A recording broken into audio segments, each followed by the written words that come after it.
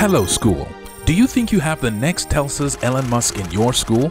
Then register your best 20 Year 9 students for a chance to win over 3 million naira and other exciting prizes in the Cruxlearning Mathematics Contest Nigeria.